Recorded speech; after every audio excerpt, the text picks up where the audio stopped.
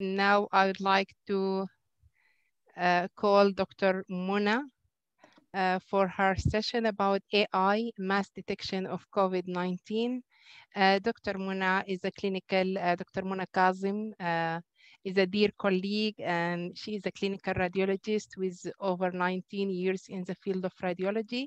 She is lecturer at the Medical Diagnostic Imaging Department at University of Sharjah College of Health Science.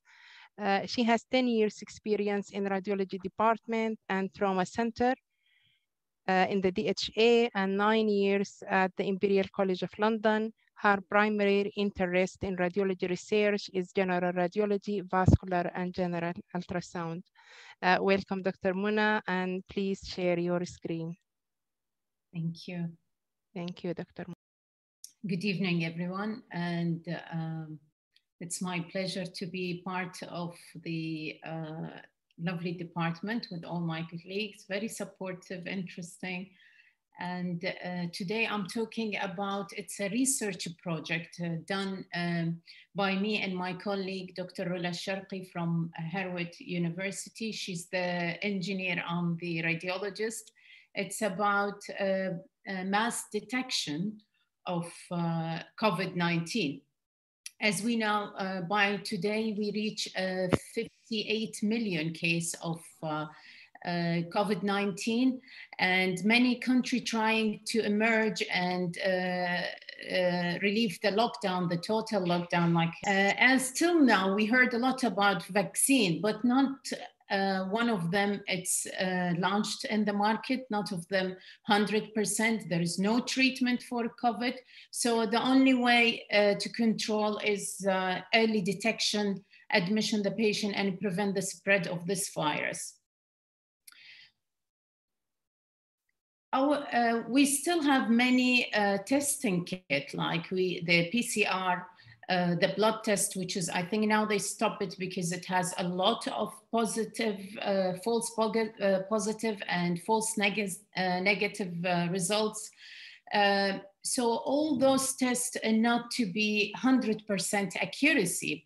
Uh, the most important rules is the radiology. Of course, uh, not all uh, the cases will have, especially in early presentation, they will not have a positive uh, chest x-ray unless late in the disease and complication.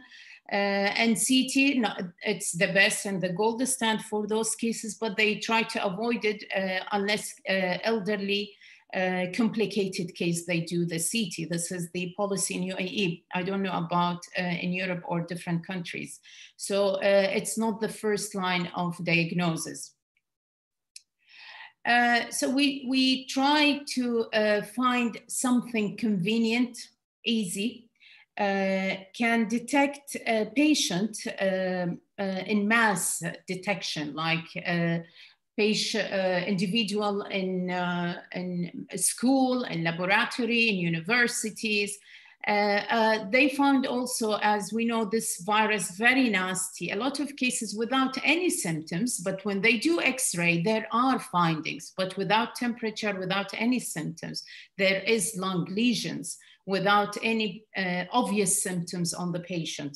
So this uh, what we try to do, it is uh, composed of two things. It is the face recognition or identifying the individual, plus a thermal camera, which will be focused on the uh, thoracic area from the uh, base of the neck up to the diaphragm, taking a thermal image and uh, uh, we'll try to have like a booth or a, a, platform, small. We place it in school and factories. So the patient will enter and we will have the identification tools. In UAE, we have the Emirates ID, which is linked to uh, Interior Ministry, to the uh, Ministry of Health, it's one system. So this uh, ID, it is connected to the, this is as you, uh, Dr. Niza talk about the patient uh, uh consent form and this, it will be uh, uh, confidentiality for the individual uh, as all of them, uh, they have this information with the Interior Ministry. So as the patient enter the booth, will will have the camera to recognize the face, They can use the fingerprint, which is connected to the uh, Emirates ID, or they can use only the Emirates ID or the any ID they have, the passport could work. This is the first step of the booth. Then the uh, thermal camera will try to focus on the chest, take an image for the uh, uh, chest and identify if there is increase in temperature at the uh, chest region. We found it's quite sufficient and we detect uh, um, many cases. It is very convenient, very easy, no need uh, uh, for person to be available. It's all automatic, it's quick. And of course, the main thing, there's no radiation, which is the, the, the best thing about it. The result we found, uh, actually we did the study on uh, 30 uh, patients only. They were admitted to Rashid Hospital. All those patients, they were uh, tested positive. Of course, we had five uh, individual, uh, they are negative COVID. They were our control and the uh, 30 patient, the positive identified by PCR test, also chest X-ray, and some of them they did CT scan to uh, uh, uh, confirm the diagnosis of COVID, of course. Um, as we know, uh, the, the basic of this study came from the uh, basic physiology or biology. We know if there is any uh, infection or any uh, trauma to the cell, there is uh, the uh, release of the inflammatory modules or the cytokines, which will release from the cell after, or the infection virus and will cause vasodilatation and increase the blood supply to the area. And this is, could be the cause for the increase the temperature in the lung. Uh, this is a normal uh, chest x-ray and this is the thermal image for this person. Uh, we can see it's only 34 degree and we cannot see the orange. Here is the, it has increased temperature. And here is the cursor where we point and see exactly where is it.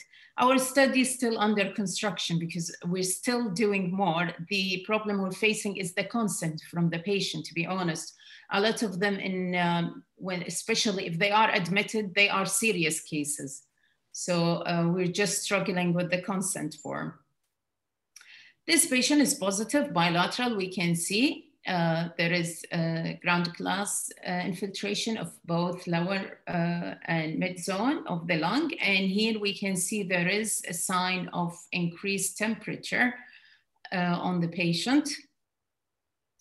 Another case we have. This is bilateral base also, and with significantly obliteration of the CP angle. And we found also significant increase in the temperature, and it's 37 in this patient. Also, this is another example here, which is uh, affecting the mid-lower, uh, the mid and both lower zones. And we can see in the thermal image, it's quite sensitive. Uh, the, the chest thermal imaging, it's quite a quick, safe. It is a convenient method.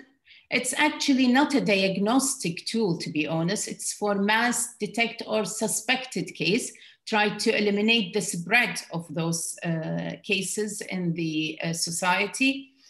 Uh, uh, we, we use uh, uh the artificial intelligence uh, to correlate the identity of the patient with the uh, um, with the thermal camera during the screen. no need for person to be present in.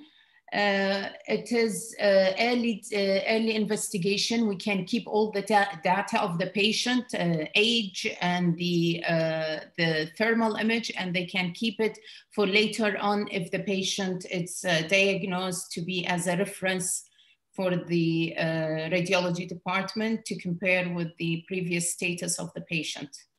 And the this is the salute for all of them. Uh, we wish we can add something uh, in the radiology and um, celebrate the next year with them.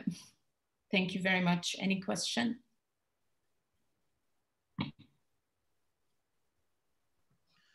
Hi, can I ask one quick question on this Please. one? Hi, um, Dr. Ansaro, the, um, what's the sensitivity and specificity have you found throughout your studies with the thermal imaging when you correlate it with the either the CT or the X-ray findings? Uh, You know, when you correlate, yeah.